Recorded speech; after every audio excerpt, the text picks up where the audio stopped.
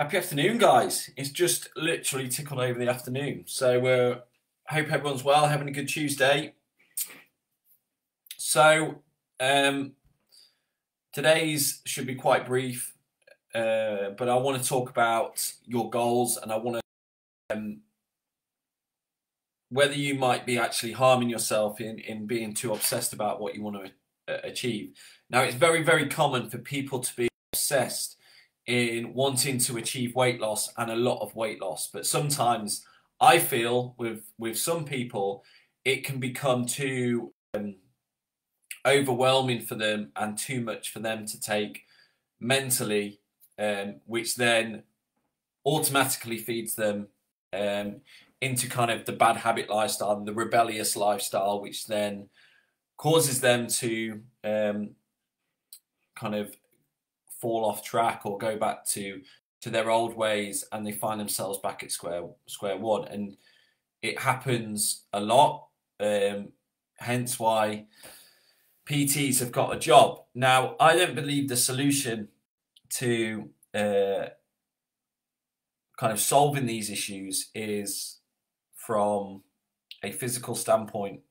So in other words doesn't matter what nutritional program exercise program I give that individual, they're still going to find it very, very hard to solve the problems that they've got, whether they know what the problems are or they don't know what the problems are. But one of the problems I see um, too much is people really, really obsessing over their weight loss. So, a prime example of that would be someone being highly motivated at the start when they start something or a new regime. Um, and seeing some weight loss results, but then totally losing all motivation, losing all willpower, and then the level of effort drops, the weight loss drops, and it demotivates them. Now, that's where I would class obsessing over weight as a real bad thing. So you you go off at a pace that you can't maintain, and it's all because of the obsessive nature of you need to lose weight and you need to lose it quick. And like the title of um, the live today, sometimes it's best not to focus on what you actually want to achieve or one of the things you want to achieve. And certainly, we're finding this with a lot of my clients, um, and there's face to face clients, online clients, that all included in this. That there's some that are actually trying to increase in size at the minute and find themselves losing um, losing weight, which isn't obviously what we want to achieve, but it just goes to show you that um, objective hasn't been to lose weight, and I've certainly not been thinking about lose weight, but it's still still happened.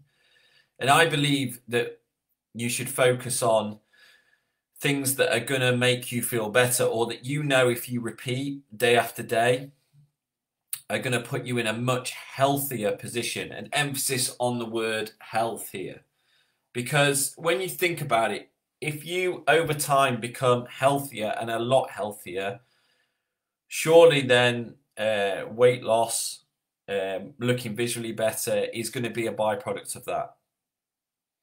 Um, if you focus on strength, if you focus on getting stronger, whether that be overall or um, a few exercises, let's say the deadlift or the back squat, if you get stronger over time, surely um, that's going to make you want to go to the gym more. Then going to the gym more means more consistency. More consistency gives you a better chance of getting results so like I hope you see where I'm going with this is like you need to focus on the little kind of micro things or let's call them micro goals um, which almost distract you from the goal you want um, or the thing that you want the most which before has been a detrimental thing to you achieving um, that very thing. And, and we are talking about weight loss here, and I think sometimes people obsess way too much about weight, so that when their weight doesn't change, and and that happens, you know, your weight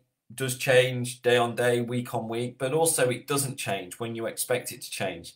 If you focus so much on that one thing and you become so obsessed about it, when it doesn't go in the right direction or in the direction you want it to, all it serves to do is demotivate you. Whereas if you don't focus on it and if you focus on getting stronger, um, session on session, week on week, month on month, if you focus on, right, am I more energetic when I wake up in the morning? Am I more energetic throughout the day? Am I more productive? Am I generally more a more positive person, a more vibrant person? Do I look better?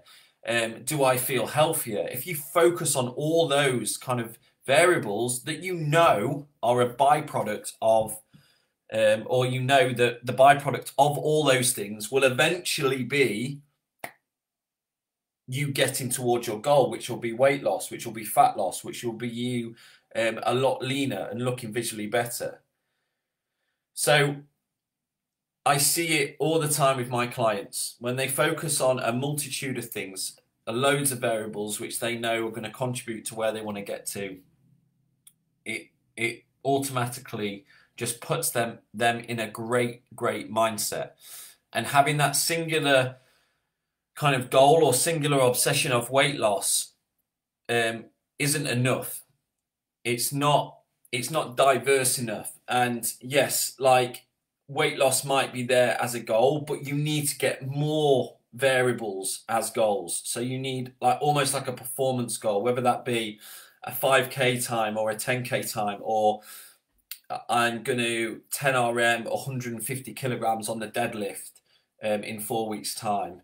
Um, I'm going to, you know, have a daily checklist of four or five things which I know if I tick them off, like let's say stay hydrated, let's say hit a protein target, let's say stay under a calorie range or stay within a calorie range, um, let's say get eight hours sleep. You know, if you tick off those kind of performance markers day in, day out, they're little micro goals which you know over time are going to get you to where you want to get to. So you need to give it some thought and please, please, please just stop ob obsessing over one variable. And if you do want weight loss as a goal, you can have it as a goal, but have it as a batch of goals. So weight loss being one, you know, feeling better, more energetic being another, increasing uh, or improving health markers as another, increasing strength as another. There's so many other goals, health goals that you can put in there, which inevitably will mean long term you, you you'll end up where you want to be and will put you in a greater mindset um, for achieving actually what you want to achieve. Um, and yeah, and it, it, it's kind of you it's for years and years and years now. Everyone's obsessed about weight. Well, people's weights, uh, people's body weight fluctuates so much. Sometimes you can't even explain why weight goes up, why weight comes down, why weight stays the same. And there's so many variables that go into a person's body weight that you just can't use it as one measure. You have to have a whole battery of tests and you have to have like a whole battery of goals almost in order to get an idea of the whole picture. You know, it's just one part of a jigsaw puzzle. Um, and you can't just go off that one piece of the jigsaw puzzle and make like a lot of claims like, oh, it's not working, I need to change it. It just doesn't work like that when it comes to weight loss. You need to get a picture of everything else that's going on. It's like, oh, right, my weight's not changed, but look, my strength's gone up this week. I've been more energetic. Um, I've felt healthier. I've bounced out of bed in the morning. My sleep's been awesome. Like all of a sudden, you've got more positives than you have negatives, and the weight doesn't seem as significant there. And it isn't all about weight, guys. Just understand that. Like, it is not all about weight. End of the day, like, what would you what would you want? Would you want to look a stone lighter? Or would you want to be a stone lighter? So if I said to you, right, you're going to look a stone lighter, but you're going to be the same weight, like most people would snap your hand off for that.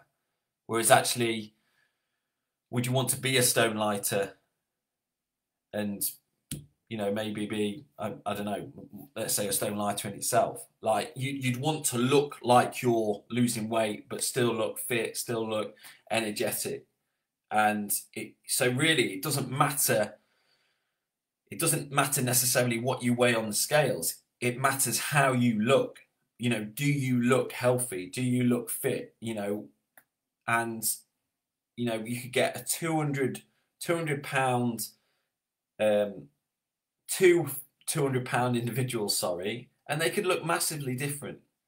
They weigh the same, but why do they look different? It's because of their body composition. Like one is leaner, has got more muscle mass. The other hasn't got as much lean muscle mass and has got more body fat. Same weight, but look totally different. One's very conditioned, very athletic. The other one looks very deconditioned and very sedentary. So the obsession with weight needs to stop. Um, it's not healthy for you just to obsess over that one thing. And there are so many other variables that you can focus on and you can your, use as performance indicators as to whether you're working or whether you, you are getting towards where you want to get to. And it's only ever going to be achieved through consistency, through doing things over a period of time. Um, and uh, just solely using weight as a measure for a long period of time isn't isn't going to be healthy for you and isn't going to get you where where you want to get to but it's a big topic. It's a massive topic, and um, you know, people, you know, everyone's got the view on on it, and it works for some, it doesn't work for others. So let us know. Let us know in the comment section what you think. I know Sarah's put, "This is what I'm trying to do." think it's going pretty well. Yeah, well, it is going well, Sarah. Yeah. Um, and you know, I from a personal experience, the clients that focus on you know, and this is especially face-to-face clients. The clients that come into the session focus on getting stronger, you know, I'm going to PB this this one lift today, or you know, they they walk in the gym and they're really energetic. And I know when a client's like bouncing and when they're more energetic because it rubs off po positively on me. Um, and that's when I know a client's progressing. They don't have to step on the scales for me to know that they're progressing. I don't really have to take their body fat. It's just, you know, the reason why they came to see me was more than that. It's for them to feel better about themselves, for them to take back control of their life. And I think sometimes people forget that. You, you know, it's like taking your weight every day or, or using your weight as a measure and it going in the right direction doesn't mean that everything's going well in your life, that you're more energetic, that you're healthier. You you need more than that to determine your progress and how well things going. So don't forget, guys, like the reason why we do this, the reason why we get involved is yeah, because we enjoy it and because we love it. But we want to be healthier, we want to feel better, we we want to be stronger, we want to improve our quality of movement, we want to improve our quality of life. And uh, just taking your weight isn't going to be an indicator of how well those are going. So you need more um, need more goals, you need more things to aim towards, which then, ironically, will be how well they're going will be the determining factor whether you actually re- reach your weight loss goal or not.